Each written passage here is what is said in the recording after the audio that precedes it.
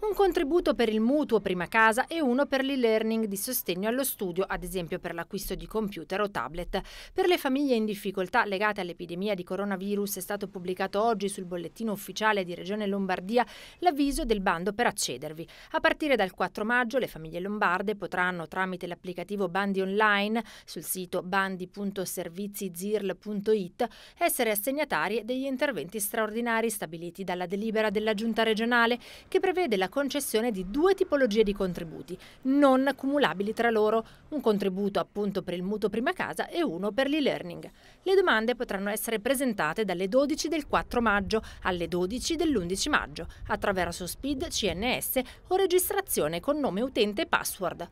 Nel primo caso si tratta di un contributo straordinario, una tantum pari a 500 euro per ogni nucleo familiare con almeno un figlio di età minore o uguale a 16 anni. L'agevolazione è concessa a fondo perduto e prevede la trasmissione, insieme alla domanda di contributo, della quietanza di pagamento di una rata del mutuo relativa all'anno 2020. Nel secondo caso, l'agevolazione è concessa fino a 500 euro, sempre a fondo perduto, per ogni nucleo familiare con un figlio d'età compresa tra i 6 e i 16 anni e prevede la trasmissione, insieme alla domanda, anche della fattura o ricevuta fiscale da cui si attesti la tipologia di bene acquistato. I destinatari della misura sono i nuclei familiari nei quali almeno uno dei componenti sia residente in Lombardia e, a seguito dell'emergenza Covid-19, si trovi in una delle seguenti condizioni: lavoratore dipendente con riduzione della retribuzione lorda mensile pari o superiore al 20%, libero professionista o autonomo con riduzione del proprio fatturato superiore al 33% in conseguenza della chiusura o della restrizione della propria attività a seguito delle disposizioni per il contenimento del coronavirus